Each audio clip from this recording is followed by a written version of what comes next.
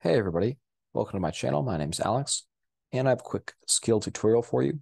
I'll be walking you through how to create a table and import a CSV file into that table here in PostgreSQL 15, and I'll be running this on pgadmin 4. So before we actually import our CSV file in, we need to have a table ready to go to import that data into. And there are a couple ways to create a table, but I'll walk you through the way to do it with code. Um, and for that, let's make sure we first have our database selected here. Then we can go to our query tool up in the top left corner. And I will be using a Kaggle dataset here for our CSV file. And in case you want to follow along, I have the link to that Kaggle uh, download in the description. So again, go to that link, download this file if you want to follow along. This is a dataset of English Premier League matches from 1993 all the way to 2022. So let's go back to pgadmin and first create our table so that we can import our data. And our syntax will be as follows. So we'll say create table. And then what we want to name our table. So I want to call this table matches. And now open parentheses, and we have to define our columns. So the important part here is not that we have the exact same matching column names, between our uh, PostgreSQL table here and our data set here, but rather that we have the same total number of columns and that they're in the same order with the correct data type. So our first column here is going to be the season end year.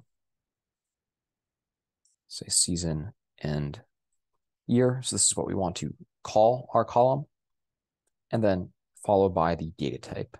So this is an integer. And then our next column is going to be the week. Again, it's called WK abbreviated in the data set.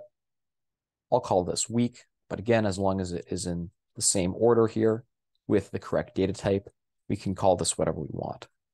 So week, and that is an integer as well. Next is the date. And our data type is date for that. Now home, which is the home team, I will call that home underscore team. And we want this to be text.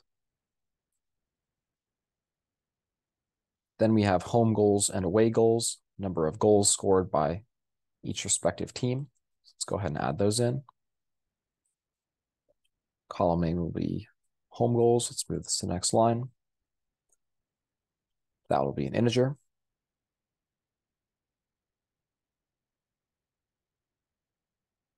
And then away goals, which will be an integer as well, since you can't score a partial goal.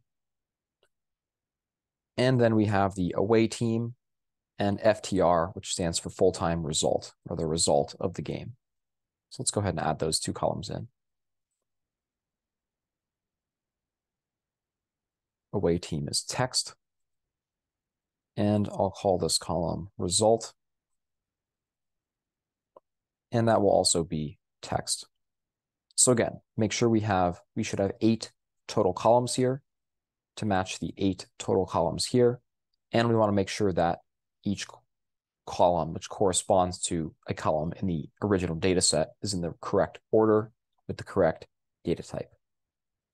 So once you're sure of that, we can go ahead and run this code here. Our query returned successfully. And we can go ahead and look at our table right now. So we can say select star from matches. And we should just have an empty table here. So just our column headers and no data, which is perfect. Exactly what we want. So just so you know, the other way to create a table is if we go into this drop down in our database here, and we go to schemas and into tables here. If you right click on tables and you hit create table, this is a way to do this without writing any code. You define the name of the table here and then columns here. So you use the plus sign to add a column.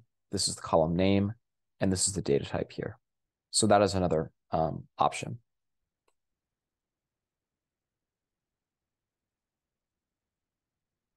Okay, so now let's go ahead and import our CSV file into this blank table. So we're in schemas and tables here, and we can hit our drop down. And now our, our newly created matches table appears. So with our matches table, let's right click on that and go to import slash export data. We want to import here, then I actually already have this um, entered in, but I can delete this for now. The format is CSV, and you can click on this folder icon to navigate to the location of your document. So I have this in documents here. We want to select our file, which is EPL matches. Click open. Now we want to go to options here. And we want to make sure we have this header option checked. So we want that to be blue. And the delimiter should be a column. So again, make sure we have these two settings here.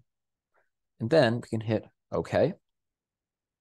Process started and process completed. So we can close out of those. And now let's rerun this line of code here. I'll put in a limit because I think we have a few thousand rows. So let's say limit 20.